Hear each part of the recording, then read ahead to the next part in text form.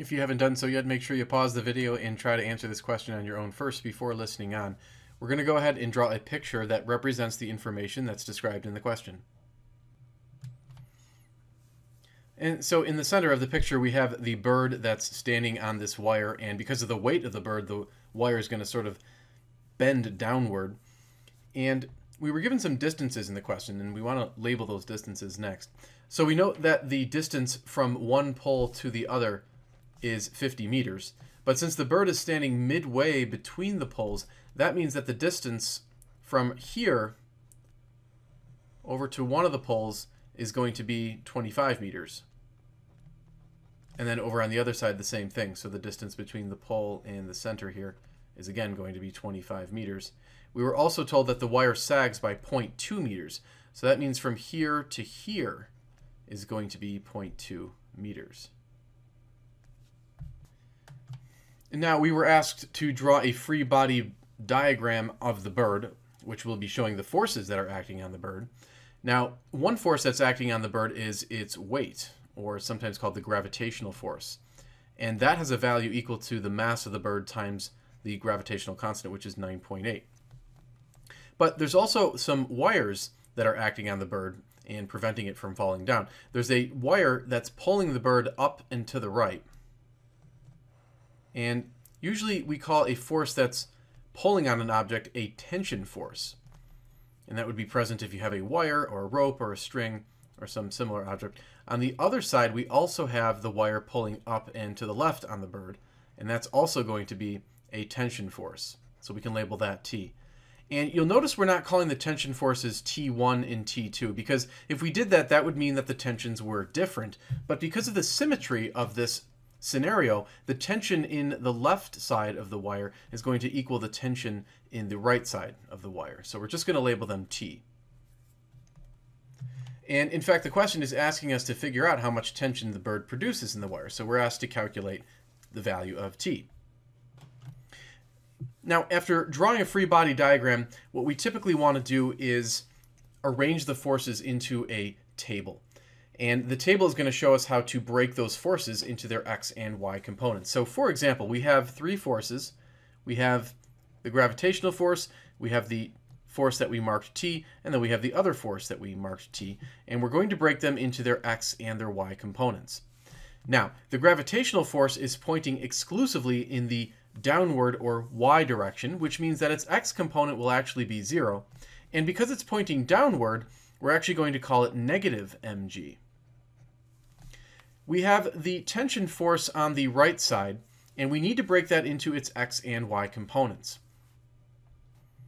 But before we can do that, we need to actually find this angle right here. And you could either find that angle, or it turns out you could find this angle as well, and the problem would work. But we will just arbitrarily select this angle, and we'll call it alpha. Now, we can see that the tangent of that angle alpha would equal the opposite side, which is 0.2, divided by the adjacent side, which is 25. Now, you'll notice we're allowed to use the tangent because we actually do, in fact, have a right triangle. We could even color in that right triangle so that we can see, see it more clearly. So right here is the right triangle that we are examining, and we're using the tangent function to figure out this angle alpha. Now, to actually solve for alpha, you'd have to take the inverse tangent of this ratio. So you'd pick up your calculator and you'd determine the inverse tangent of 0.2 over 25 and make sure your calculator is in degree mode. And when you do that, you get a very tiny angle of 0.458 degrees. So that's going to be this angle that we had marked alpha. And we're going to see that that's useful for us in determining the x and y components of the tension force. So let's go ahead and draw in the two components for this force that's marked T on the right side of the diagram. We're going to have a component that points straight up, and then we're going to have a component that points straight across. And this component that points straight up, you'll notice is located opposite to the angle that we had marked theta. And since it's located opposite, we're going to be using the sine function. So that means that this component right here, which is pointing in the positive y direction, can be represented by t times the sine of alpha.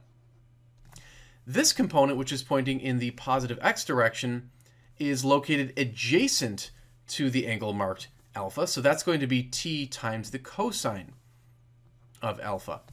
And notice that both these components are positive because this component right here is pointing upward in the positive y direction. So we would have positive t sine of alpha. And then this component here is pointing in the positive x direction. So we would have t cosine of alpha, and it would be positive. Now, a similar argument will be made to find the components of this tension force. We're going to have an upward acting component and then a leftward acting component. The upward component will again be t sine of alpha, and the leftward component, because it's adjacent to the angle of marked alpha, will be negative t cosine alpha. Notice it's negative because it's pointing to the left. Now that we have all of the forces broken into their xy components, what we can do is find the sum of the forces. And we'll begin by summing the three forces in the y direction. So we would have negative mg plus t sine alpha plus another t sine of alpha. And then after summing those forces, what we do is we set that equal to the mass times the acceleration.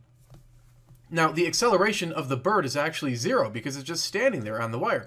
So if we plug zero in for the acceleration and multiply it by the mass, we're going to end up with zero on the right-hand side. Now, we can combine the like terms of t sine alpha, t sine alpha to make 2 t sine alpha. We could then add mg to both sides of the equation so that it will cancel out on the left-hand side. So if we come up here, we can see that 2t times the sine of alpha is going to equal mg. And finally, to solve for the tension T, we can divide both sides of this equation by 2 sine of alpha. And by doing that, the 2's will cancel out here, and so will the sine alphas. So we're left with the tension, we'll come over here, the tension is equal to mg divided by 2 times the sine of alpha. So all we have to do is plug in the known values. The mass was given to us as 1 kilogram. G is 9.8. And then alpha, we noted, was 0.458 degrees. So you can pick up your calculator and type this in. And when you do that, you get a value for the tension of approximately 613 newtons. And this is indeed the correct answer to the